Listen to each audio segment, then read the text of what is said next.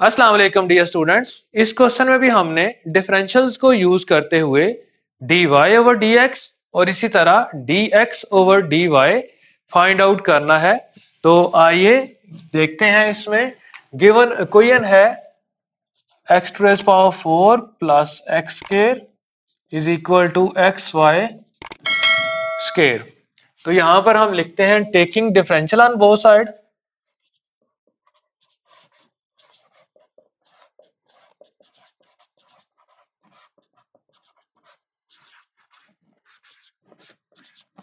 तो दोनों तरफ़ हम d अप्लाई कर देते हैं।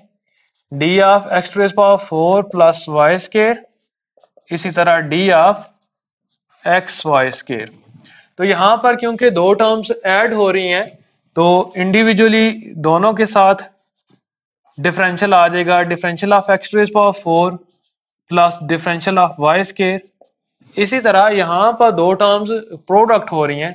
तो जब दो टर्म्स प्रोडक्ट हो रही होती हैं तो प्रोडक्ट रूल लगता है तो प्रोडक्ट रूल के मुताबिक first term as it is differential of second यानी कि फ़र्स्ट को हम छोड़ देंगे सेकंड का डिफरेंशियल लेंगे प्लस सेकंड छोड़ देंगे डिफरेंशियल ऑफ़ फ़र्स्ट लेंगे। इसको याद इस तरह रख सकते हैं कि एक वक्त में एक ही काम हो सकता है। प्रोडक्ट है तो जिस तरह बॉलिंग और बैटिंग हो तो आप एक वक्त में या बॉलिंग कर सकते हैं या बैटिंग कर सकते हैं। सो so, ये एग्ज़ाम्पल अगर हम जहन में रखें तो एक्स एज इट इज़ आएगा।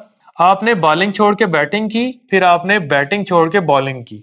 तो देखें यहाँ पर अप्लाई करते हैं एक्सप्रेस पावर फोर है तो पावर रूल लगेगा इसके ऊपर।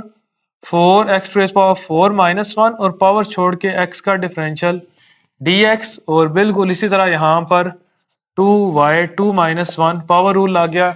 टू शुरू में और टू में एक माइनस फिर वाई का differential d y is equal to x यहाँ पर भी हम टू शुरू में लेकर आएँगे और वाई की पावर में से टू माइनस वन यानी कि वाई स्केयर था तो पावर शुरू में आई और पावर में एक माइनस तो आगे फिर वाई का पावर छोड़ के डिफरेंशियल डी वाई बन गया। इसी तरह यहाँ पर हम y square d x as it is लिख देंगे। अब यहाँ पर सिंप्लीफाई करते हैं इसको। Four x cube d x plus two y d y is equal to x two और वाई मल्टीप्लाई होके two x y d y और plus y square d x अब देखते हैं यहाँ पर हमारे पास इस पूरी क्वेश्चन में दो टर्म्स ऐसी हैं जिसमें डी एक्स इन्वॉल्व है। ये फ़र्स्ट टर्म है और ये राइट साइड पर वाई स्केयर डी एक्स तो डी एक्स वाली टर्म्स को हम आइसोलेट करते हैं। ये वाली डी एक्स वाली टर्म इधर आएगी तो इसका साइन चेंज हो जाएगा minus y square d x is equal to ये वाली टर्म एज इट इज़ इधर ही रहेगी।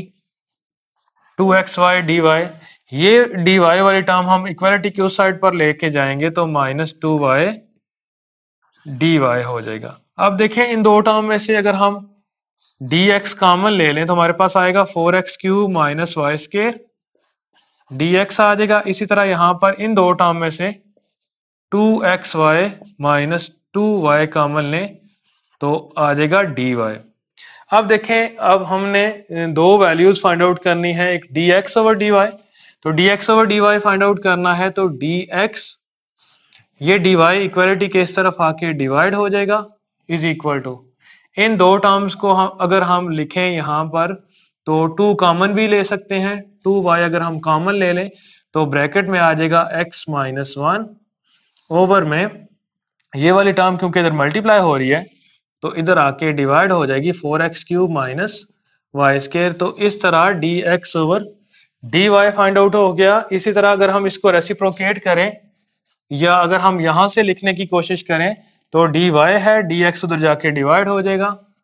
D y over d x हमारे पास आ जाएगा four x cube minus y square over में two y into x minus one तो इस क्वेश्चन में भी हमने डिफरेंशियल को यूज़ करते हुए d y over d x को फाइंड आउट कर लिया।